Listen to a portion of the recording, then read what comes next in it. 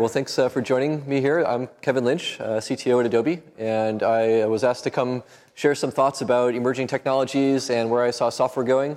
And I looked at some of the themes of the conference, and I put together a bit of a mashup of, uh, of a few different themes. And, um, and you can see my title's a little overloaded too. Uh, and I've narrowed these down into three, three things that I think are interesting uh, right now uh, to talk about in terms of where I see things going. one is designing more sustainably. Um, the other is many data points are in the world right now. You're trying to understand information. How can you better visualize uh, information and gain more knowledge from it? And then we have a challenge of many screens that people are interacting with, and how can we really effectively design uh, for all these screens? And where we're at right now um, at Adobe is many of the things that you're interacting with during your daily life uh, have actually been touched by Adobe software. Uh, a lot of design, like these signs, I imagine were designed probably with Adobe software. Uh, water bottle labels, uh, the little placemats with the Fairmont logo, you know, those are all things that were likely touched by uh, people using tools uh, from Adobe. And so uh, we have an interesting role to play in helping people design uh, things more sustainably. And this has been a long relationship with designers, and we're definitely hearing about sustainability more as something that they'd like to see the tools to help them uh, design better with. And at Adobe, uh, this sustainability has been uh, through our daily life uh, in our buildings. And during the last uh, kind of economic crisis in 2001, uh, we were looking for ways to save money. And sustainability and energy management in our buildings actually came from looking at reducing our costs. And we've actually now have uh, our buildings LEED certified. They're platinum. Uh, they have the big Energy Star logo on the building and uh, they're great at managing uh, energy now. And uh, we even have, you know, like no flush toilets and things like that. So on a daily basis, you know, engineers at Adobe are reminded about sustainability. Um, and uh, I work in the San Francisco office, and the building that we are in there uh, is over 100 years old, and we actually just got it also LEED certified. Uh, so it's um, got sealed windows and it's got good energy management, and the lights go off when you're not in the room and everything like that. so we're actually finding across the company that we're saving uh, over a million dollars now annually uh, just by uh, managing our energy better. And the systems we put in to do this are paying back in about nine months. So it's a very economical thing to do as well as the right thing to do for the environment.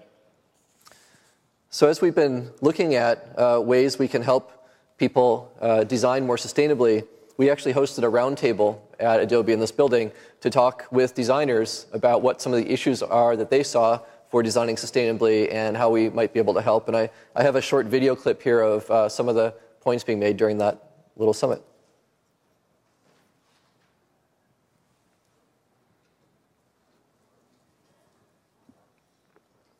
The best way I could think of visualizing it is this kind of hairball of knowledge so essentially, what our industry has in resources is a lot of specialized knowledge, a lot of really, really good knowledge, but it's largely decentralized, it's not integrated, and it's often inaccessible. People are constantly asking what to do.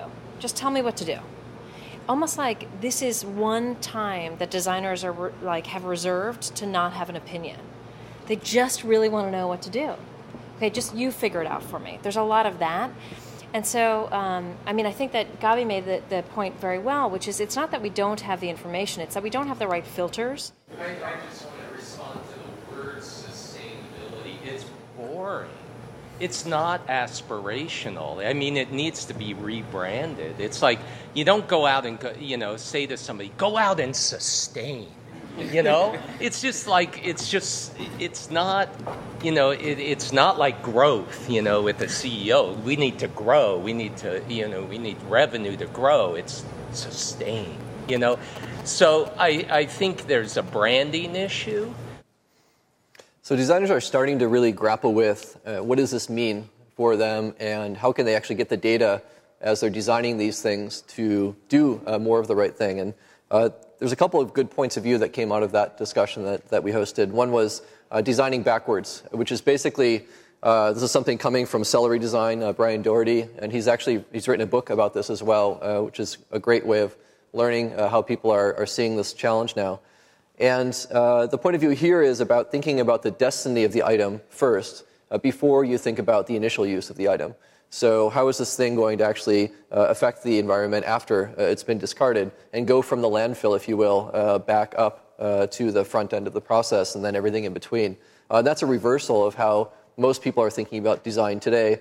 Uh, and in fact, most you know, don't understand or don't think enough about what are all these follow-on steps after the item has been designed and what is the actual impact. And this is going even further than that and saying start with the impact and then factor your design around that. So there's starting to be some real uh, good experiences and thinking around how to uh, address these challenges. And there's a group called the Designers Accord, and this is uh, designersaccord.org, and it has about 100,000 designers now who are participating in this uh, across about 100 countries around the world.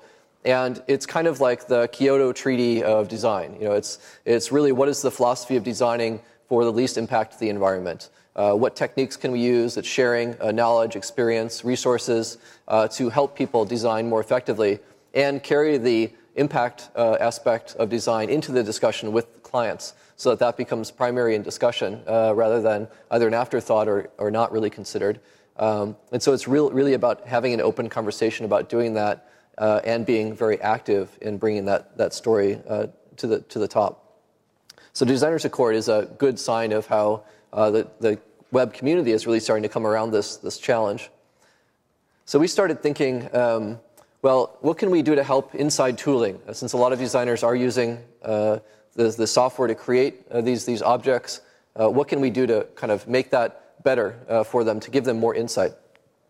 And so uh, we put together some mock ups here of, of, things that we're thinking about. Uh, these are not features in any software that I know about. Uh, these are ideas that we're having right now, and we're getting feedback on them to see if they're useful or not. Um, and I'm interested in anything uh, you guys have uh, along these lines in terms of thoughts. Uh, in, this, in this idea here, starting with the initial planning of a project and laying out, for example, a, a, a box job here, we were creating some packaging optimizing the layout of the packaging on the printed material can save paper. Uh, and that's something that isn't really uh, visible in the design process right now. Usually you're designing the one item and you don't really think about how is that going uh, to be uh, uh, produced during print production and actually minimize paper usage. So that's something we could visualize more uh, in the upfront planning of, of actually producing some of these, these objects. Another thing is the materials that people are using. So um, this is a, an example of designing a, a, package, and it's got uh, some uh, re- recycled uncoated paper that, that we're using here. Uh, but the ink, this orange ink that's on the box, uh, it actually is has some toxicity that's beyond the guidelines that the designer would like to be designing to. And right now, when you're choosing colors and design, uh, you know you don't really have any insight into what the chemical composition or the impact of those colors really will be on the environment. You know, what's the environmental destiny of this color orange? It, that just doesn't show up uh, in, in, in, the design process. You know, like these signs are really, really cool and that green is nice, but is that a toxic green or is it uh, okay green? Uh, you know, I'm sure uh, that's not obvious during the process of creating it. So how can we surface that information more uh, at the beginning of the design process? So again, you're choosing more with thought towards the end of this uh, product's life. There's a couple of other ideas in here about uh, even having panels in design software that show the impact of your design. So, an impact palette uh, where you can choose a standard you'd like to design to. Uh, for this one, for example, is showing you're, you're designing to the Designers Accord standards. Uh, you might want to design to the Greenpeace standards or Society of Concerned Scientists or other organizations who might have some judgment about what is uh, good or not good about different aspects of, of, uh, of products that you're designing. And uh, right now, one of the challenges is that there's many different points of view. Uh, you know, which colors are toxic is a kind of controversial topic. Uh, there's different points of view about how toxic different compositions are. So uh, it's hard for designers to know what to do. So having some standards that they can choose from will be helpful. And then actually surfacing where your design deviates from those standards. In this case, you can see the uh, you know, the waste cost of this, uh, of this box is too high and it's throwing a little yellow flag. And the process being used here is offset lithography, uh, which is shown as a red dot because the impact on the environment of that is much worse than other ways of processing the print job. Um, so again, showing this stuff earlier. And here in the last step of packaging a job to be sent to manufacturing, uh, there is more that I think we could do as an industry to show uh, the impact of that job before it actually goes to uh, production. So in this case, reviewing uh, you know, what are the inks being used? Are they soy-based inks or not? Uh, what's the paper that's being used? What's the quantity? How many trees is this impacting? Uh, you know, that should be highly visible during that uh, upfront production process, so you really can understand the not only the benefits of the product you're creating, but the impact of of that product. So, and then the most challenging thing for designers overall is just not creating things. Uh, designers like to create. Um, and so producing a lot of these objects, uh, in some cases, maybe it's not even necessary to produce those objects. And that's where I think uh, we can make even more progress. You know, are you sure you want to really create this? Um, you know, one example is uh, there was a, a, company who was taking on a, a green agenda, and we were hearing this from one of the participants in the, in the summit, and they're producing an annual report talking about uh, the moves they've been making to be more green. And of course, their annual report was a you know four color print job on shiny glossy paper, and uh, and they started realizing that was. Uh, not consistent, of course, with the goals that they were trying to talk about in, in terms of the rest of their business. And they went not only from uh, using recycled paper, they went beyond that and said, why are we even printing this out and mailing it at all? Uh, and they went to using an online version of their annual report, which had all the great design work, but didn't kill any trees. And so the not creating uh, option is one that can be hard to engage with, especially if your job is to create stuff. Um, and so, what alternatives do you have to creating the object that someone's asked you to make? Maybe you could make something else that has uh, dramatically less impact than the thing that you've been uh, tasked to do. So, raising that as a designer is, uh, is can be challenging uh, to question uh, the mission, if you will, as well as just you know what color things should be and how big they should be and things like that. So the next part of my loosely connected uh, three themes is many data points. And we're increasingly overwhelmed with information. Uh, the information overload is not uh, sustainable, if you will. You can't keep it all in your head. You can't keep up with all the threads that, that, that are coming at you. and that's a challenge. And so I think there's a lot more we can do to help visualize information more efficiently. And I've got a few examples here that I'll show you. And I, I've picked them all around uh, visualizing information around sustainability. So the, the first one I want to show you here is something that's called NewsMap, and this is a, an application that is running on a server in Japan right now, and it's analyzing news stories and it's showing you a tree map of the stories so you can understand uh, which of these stories uh, is more important than the others in terms of uh, views and, and links to them, uh, and you can see less important ones are smaller. And I can do queries here, uh, like environment,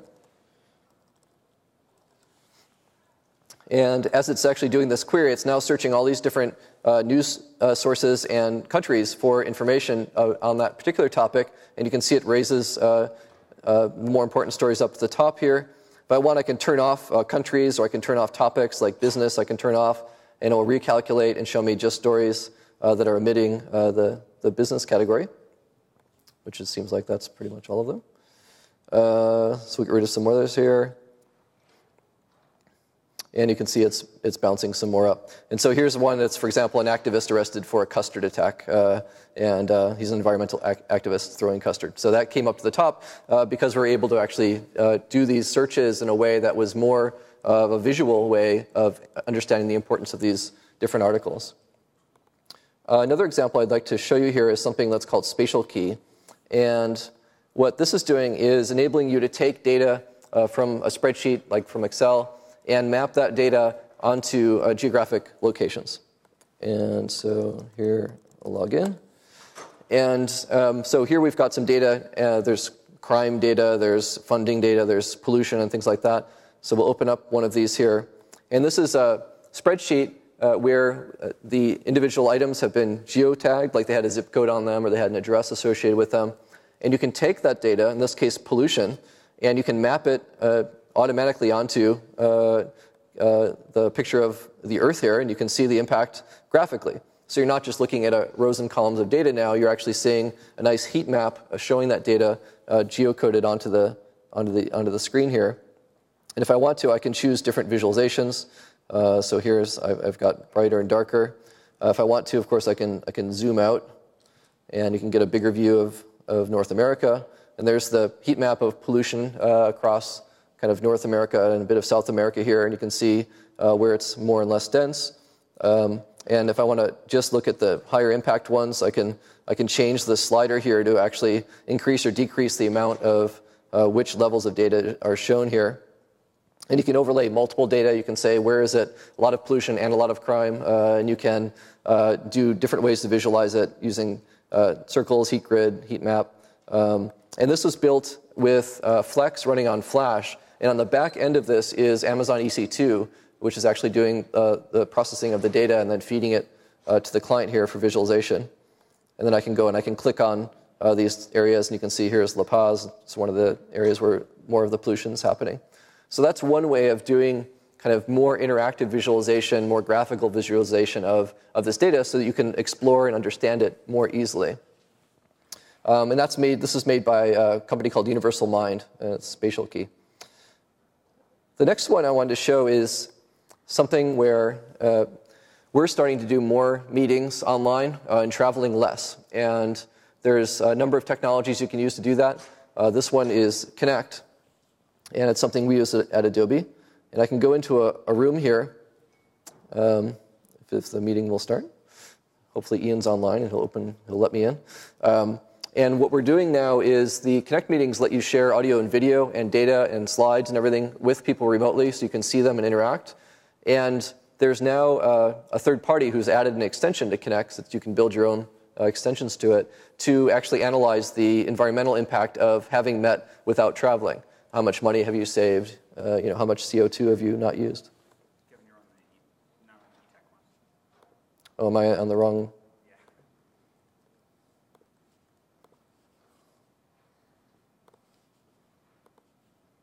This one? Or am I in the wrong network?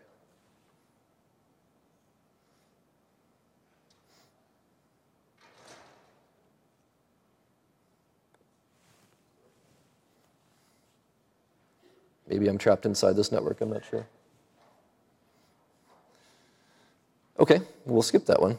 Um, one of the great things about that is you can actually see by the IP address uh, where people are located who are in the meeting virtually, and then automatically calculates uh, the flight cost from getting one place to another and the CO2 saved uh, from not having flown from one location to another. And you can track that historically as well, so you can see like how much your sales team is saving, for example.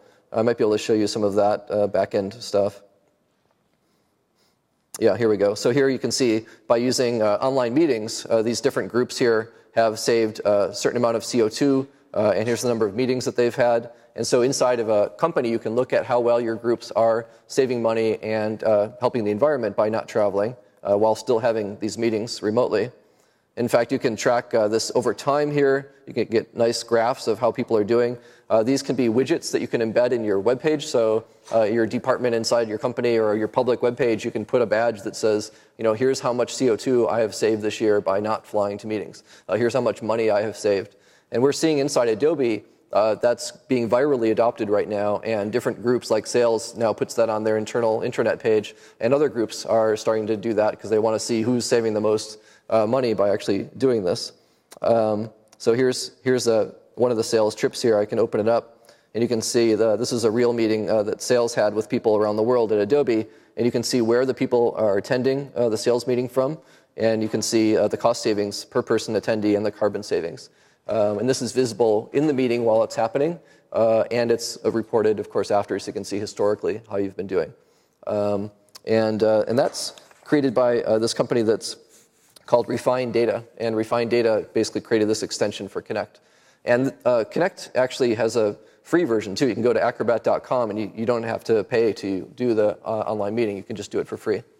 Um, so that's, I think, a great example of how visualizing the impact of doing your meetings that way can help uh, justify doing them that way. The, the last example I wanted to show is this, this thing that's more about augmented reality. So uh, trying to visualize things in really new ways. Um, and this is an example from GE. And they've really pushed uh, what Flash Player can do here, where they've created uh, uh the smart grid demonstration. And they do it using uh, the video camera. And here I'm going to allow the camera to turn on. So here I am, right? Um, which isn't that impressive because you can see me too. But um, now what I'm going to do is uh, this is a piece of paper that you can print out from that website.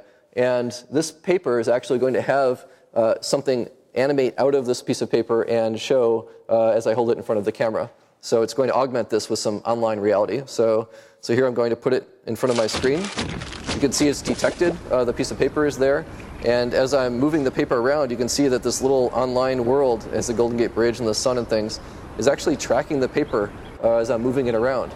So this is, uh, this is pretty fun. Now, you can see the wind uh, turbines are spinning a little bit, but if I blow in my microphone, actually, I can make them spin faster. Let's see that.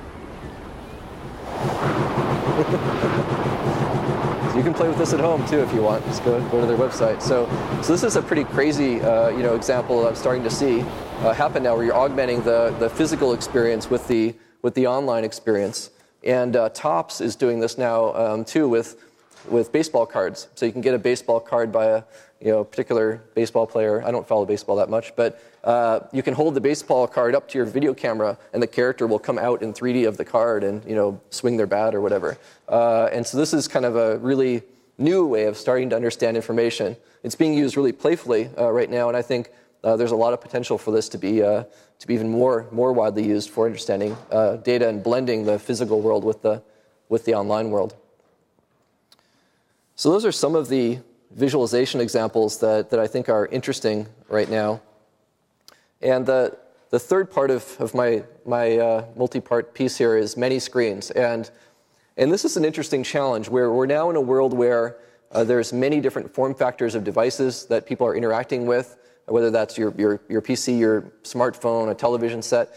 And creating experiences that actually work reliably across these environments is really hard right now. Um, and the challenge that we're looking at is how can we enable people to create an experience that actually works well across these different form factors, these different environments, and takes into consideration the, the constraints and the capabilities of each one, uh, but uh, is actually you know, a single piece of content or a, an, an application that you could actually install and run or, or browse to across all these devices. This is something that is very difficult to do today. Uh, we've been thinking a lot about how to enable people to create experiences that, uh, that do uh, work this way.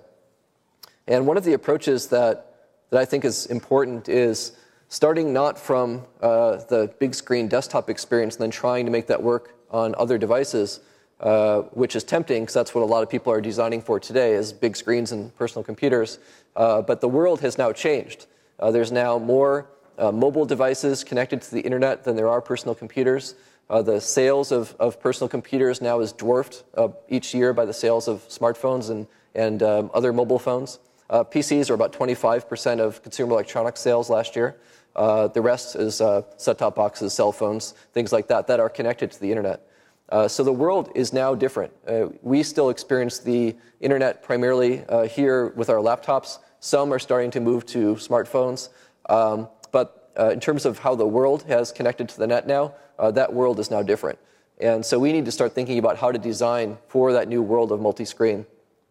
And I think the approach that is going to be important here is to start uh, by designing for the more constrained environments and then enabling those experiences to work uh, on the more uh, capable devices. And so I call this the cone of compatibility. Uh, and this is basically starting at the bottom with the most constrained uh, device set, and then like feature phones going to smartphones, going to ultra mobile PCs, to desktop computers, to televisions. Uh, these have different characteristics, but generally, if you design something for the bottom of the cone, uh, our goal is to make that same thing work on everything up the cone. Um, not necessarily the other way around, though. And I think from a design perspective, it's going to mean really thinking about designing for mobile first. Uh, right now, mobile is a, a, secondary thought or a side effort uh, after creating a bigger experience. And what I'm starting to see is that really needing to change. And we're starting to change that way, uh, the way we make software at Adobe. Uh, so, for example, Flash Player, we're now designing for mobile and, and desktop at the same time rather than uh, doing mobile after. Um, and our applications that we're making that are, that are new web applications, we're starting to look at okay, let's create the, the mobile version of this thing and then think about the PC version. Um, that's, a, that's a big change uh, for us and for the whole ecosystem of people designing, designing this stuff. So we, we created a little example of, a, of an application, uh, and this is just a concept piece. It's not like a shipping application. Um, and it's just called Adobe Notes. And we, we chose note taking as a really simple use case that we could explore what it meant to be a multi screen application uh, just for the little uh, task of taking notes. Um, so we put together a, a, prototype of it to start learning about this. And the, the first one that we did ha- here actually is the mobile version of the application, which I'm not sure if you can see on the screen there.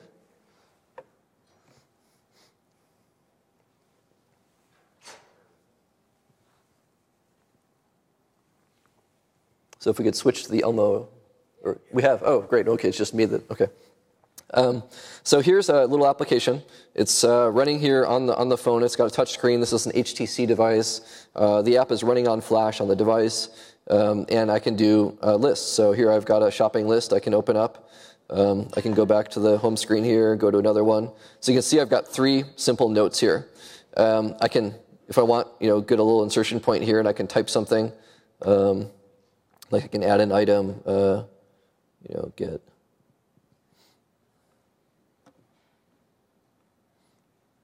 get a hat.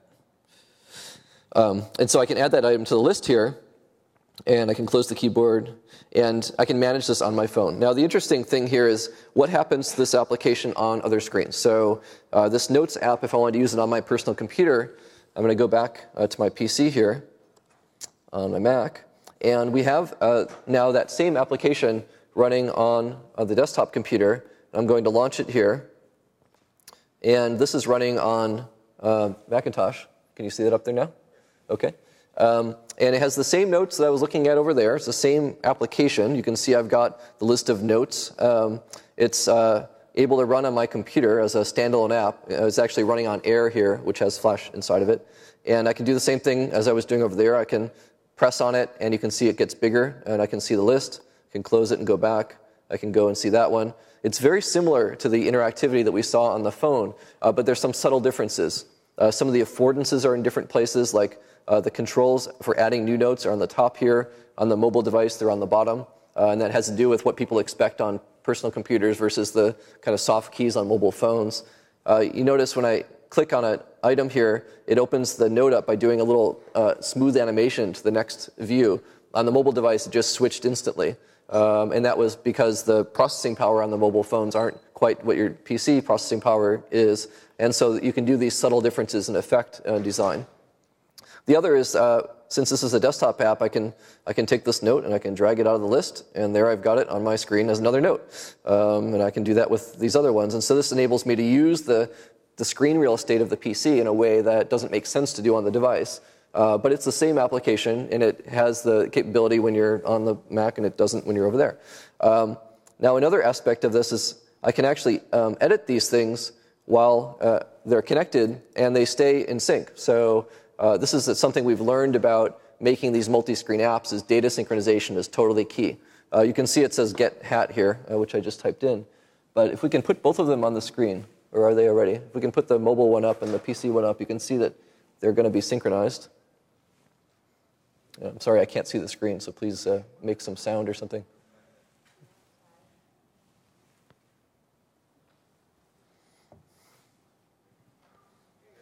All right. So here's the uh, list here on the mobile device, and here's the list on the PC, and um, so I can go and you know, here's another item. And hopefully that will uh, synchronize. There we go. So it's synchronized on the device as well. And it's actually synchronizing on a, uh, a data as I'm typing on either one. If I go over to this one and I can type on this one, um, and I'll bring up the keyboard.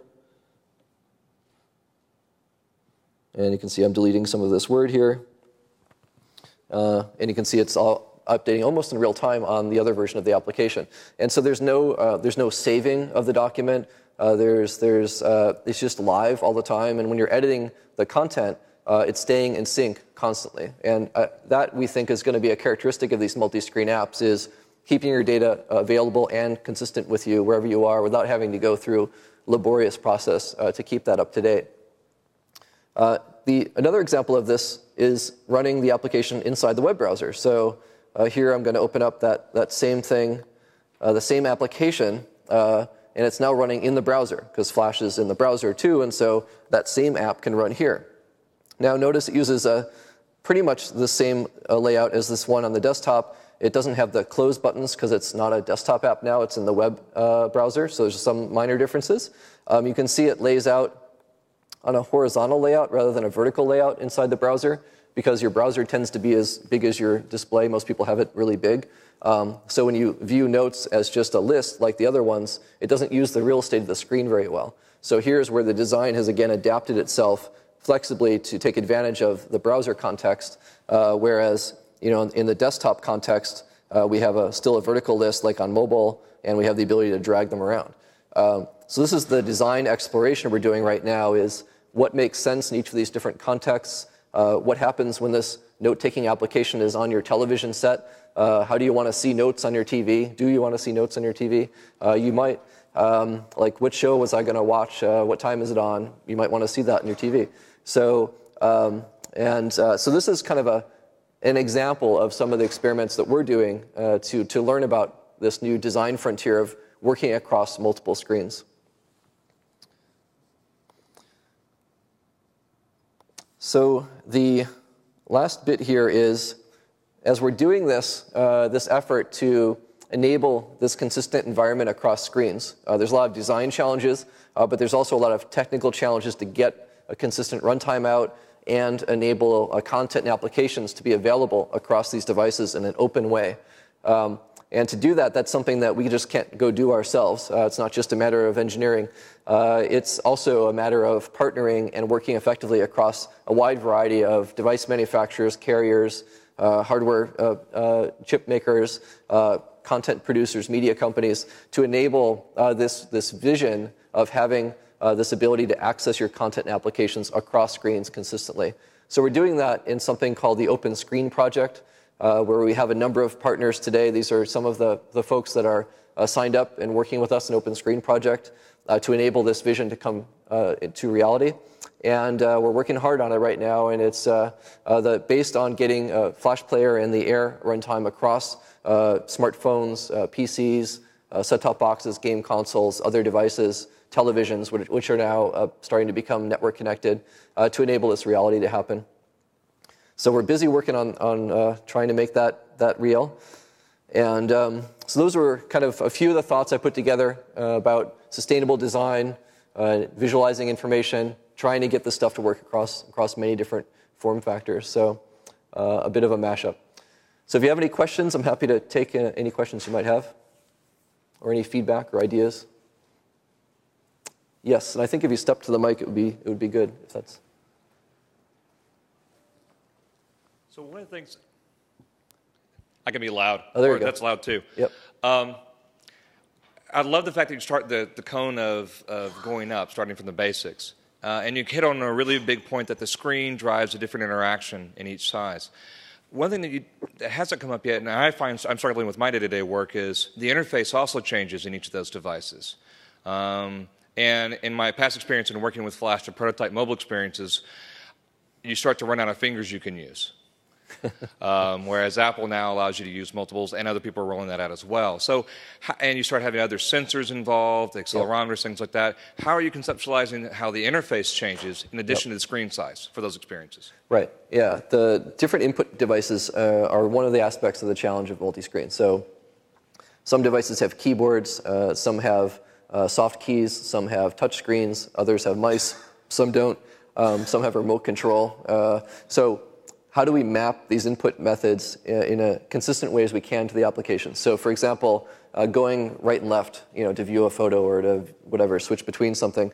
Uh, could be arrow keys on, on one uh, platform. It could be a swipe gesture on another. It could be the remote control, uh, you know, channel changer on, on one.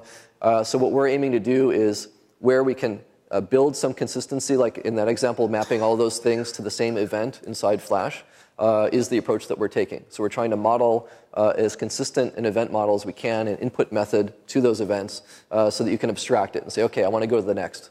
And that next may be right arrow key or maybe swipe gesture or whatever. So that's what we're aiming to do there.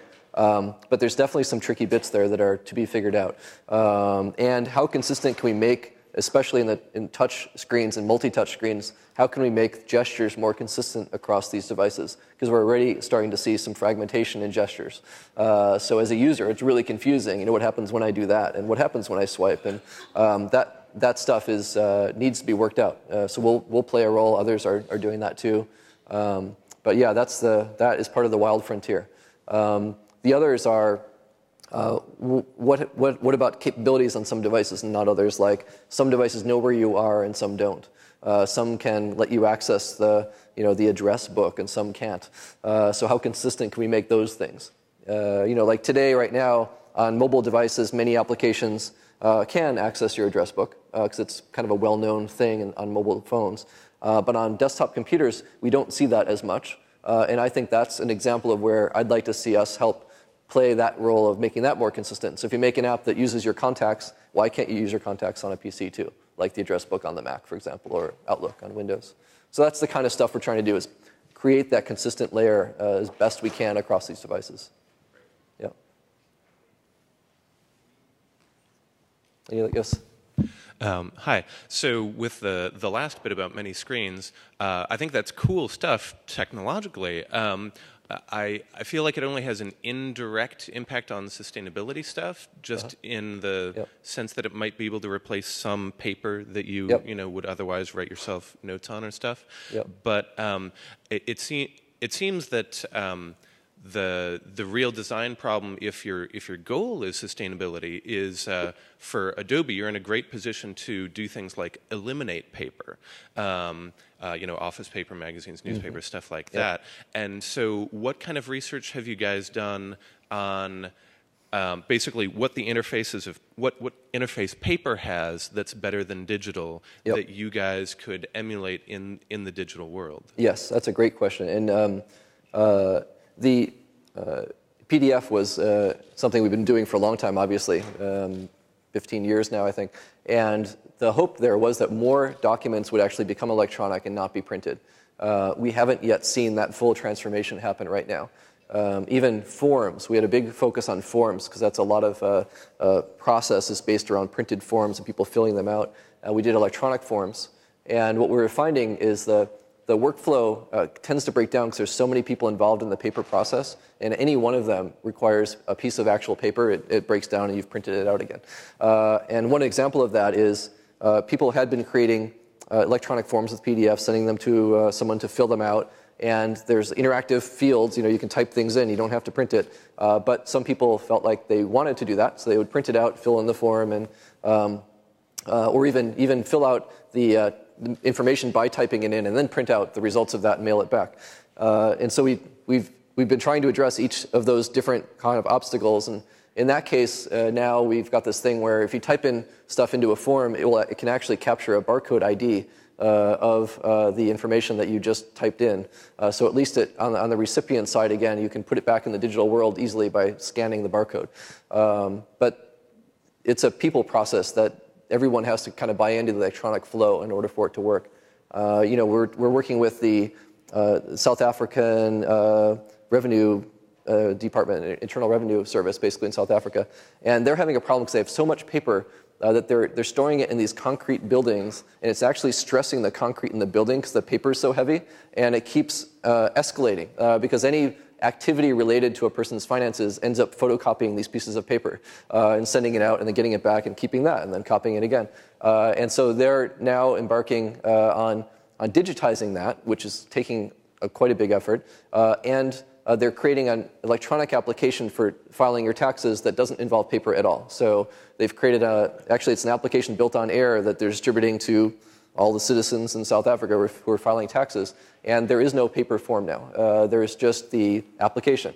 And, um, and the app has also reduced complexity, where the, the tax forms were you know, uh, many pages long. I think it was 140 pages. We had all these different things. Uh, now you can do, you know, the, like the easy version. It's two pages, electronic, and then it expands dynamically depending on what options you've chosen. So, uh, so I'm seeing some promising progress on that. But boy, I, I still see people kind of clinging to paper, and uh, uh, I wish it were different. Uh, I think as I think the focus now on sustainability uh, is really bringing home to people that it, it's it's not you know just uh, wasteful or expensive to do paper or inefficient, uh, it also is just terrible for the future of mankind. And so I think that will put more you know, emphasis. I think technically we've got great solutions to not, to not use paper. So, but the paperless office has not yet become a reality. Uh, it's just the opposite, really. Um, so, yeah. I mean, the print dialogues, and you know, maybe we should, before you print, say, "Are you sure?" uh, uh, more email I get now actually on the footer says, "Think before you print this email." I, you know, I think that's good. I, am not sure if I answered your question, but that's where I think it's at.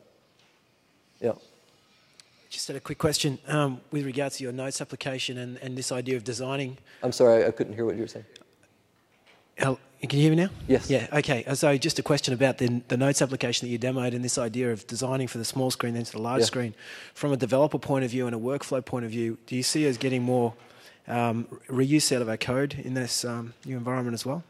I'm sorry, the last part? The reuse of code, particularly in that application that you demoed, the, the notes sort of thing, how, you know, from a developer point of view, not just from a design point of view, but. Um... Yes, right. So, from a developer point of view, creating an application like that is uh, exactly what we're looking at. Um, it's the design constraints of doing that, but then also how do you reuse code across uh, those different screens? And it's, uh, it's an interesting challenge. And the way they're approaching it, the Notes app right now, is um, it's built with the Flex framework and you can subclass elements of the framework. And so what it's actually doing is the different versions of the notes application, it's one binary, but depending on where it's running, it uses different subclasses of windowing, for example, so the controls show up here or they show up down there. Uh, so that as an engineer, you can still have the same interactivity and patterns and business logic, if you will, of interacting with the app, uh, but the presentation uh, can actually vary depending on which one you're running. But it's all it's the same binary, and it changes dynamically by changing which subclass is shown on the screen. Um, so yeah, it's very much how do you engineer these things once and have them work, uh, as well as factor in these design considerations. Um, and then over time, we'll look at okay, what patterns are emerging for how people are building apps across these, and then how can we put that in the framework so that it happens more by default. Like if you have a control bar, and we know control bars like to show up on the bottom on mobile, and they like to show up at the top on, on, on desktop computers, can we make that happen automatically uh, so you don't have to actually engineer that at all? Um, or do people not want that to happen? And so, so that exploration is, is part of what's going on right now. But yeah, the, definitely the goal is how do you build content applications once and then have them adapt to the things that they're viewed on? And I think that the, the development challenge there is very much designing in the constraints of the most constrained one so it will work there. Then how do you take advantage of the greater capabilities when those are available? Like you have more RAM or you have a bigger screen. That's the interesting development challenge too and how do you get insight into that? So we work on something called Device Central, which uh, is in the software we're producing right now. It's in Creative Suite. And um, you can actually take the, the app you're developing and you can run it on a variety of different devices in Device Central. And you can see the memory use. You can you can actually simulate the performance of the device. Uh, you can even do, uh, from a design perspective, you can do screen glare overlays on your application. So when you're outside, you know, what is that like? Uh, you can turn on wireless uh, connectivity and off so that you can see what happens to your application. Um, you can change the power level and see what that does. So um, that kind of simulation of your application running uh, is one of the one of the really critical things to have when you're developing these. So you don't have to have, you know, 25 different devices while you're trying to develop. Uh, and one, one person I was talking to was actually testing wireless connectivity on their app by taking a phone with the app on it and going up and down an elevator uh, to simulate spotty wireless uh, while they're running the app. And so that's the kind of stuff we're trying to make so you can sit down and keep working. Yeah. Um, yeah, in that same sort of vein, I, I guess it's more of a comment than a question, but uh, from user experience, excuse me, from a user experience standpoint, it's also a challenge to think about the context of someone using the device on one screen versus the other. You know, the whole like uh, 10 yeah. or 110 thing. Are they are they one foot away? Are they driving in a car? Are yep. they you know sitting at their desk? Are they on a couch? So it's a very different context of yep. um, how urgent things are, or if they just kind of watching an ambient in, in an ambient way. Yep. Yep. Yeah. I think that those are great points. I, you know, the context of how people are using the app is not just the physical environment the app's running in; it's also the world of the user. Uh, like, you know, are they giving a presentation to people right now or things like that? Um, and uh, yeah, that isn't factored well enough into the into the runtimes yet for people to really take advantage of that. That's a good. That's a good point. Yeah. Can I be bothered now? That kind of thing. Um, yeah. I had a question yeah. about um, data. So I'm I'm not familiar with uh, Flex, but Uh, how, how does Flash and, and uh, Air kind of work together to represent data? And how can sure. you use that platform? Um, uh, you, can, you can use, um, you can represent data in lots of ways with Flex and, and, uh, and, and Flash Player. It can be XML, uh, it can be HTML that you are parsing, uh, it can be raw data structures. So the language inside is ActionScript, which is the ECMAScript standard with some advancements, kind of like JavaScript as well. And so you can actually pass uh, compressed uh, ActionScript data structures as well over the wire. Uh, what I was showing with node synchronization is using a protocol called RTMP, uh, which we've published. It's a real-time messaging protocol. You don't have to use that, but it's one way to uh, keep that synchronous connection going where anything's happening, it broadcasts events to everything else. Um, and that works with, uh, there's a free backend called BlazeDS that you can use with PHP or whatever else. It's open source and it's free. Um, and we also have something called LiveCycle, which is more enterprise scale uh, for handling uh, data uh, synchronization, messaging, integration with enterprise systems. So it's a very robust data model and very simple to connect. Uh, you can just point it to a data source, a web service, an XML file, whatever it is you're using, and uh, it automatically connects and, and uh, you can attach it to user interface objects. A simple binding. Yeah.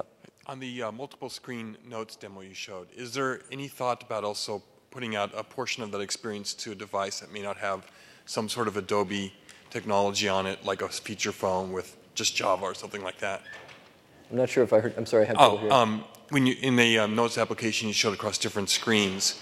Is there also thought about being able to put some sort of experience on a device that does not have Flash? Oh, I see. Yeah, sure, sure. Yeah, yeah, yeah, yeah. yeah. Um, uh, we're doing a lot of experimentation with, uh, with Flash and Air because we can actually move that technology forward too and make it consistent like we have across browsers and OSs today.